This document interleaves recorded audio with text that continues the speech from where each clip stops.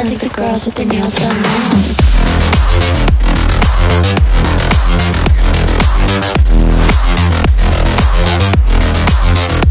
Girls with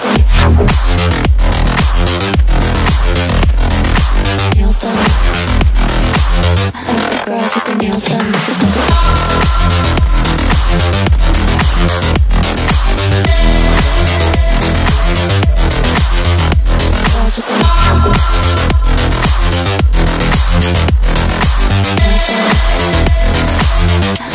music and nails done.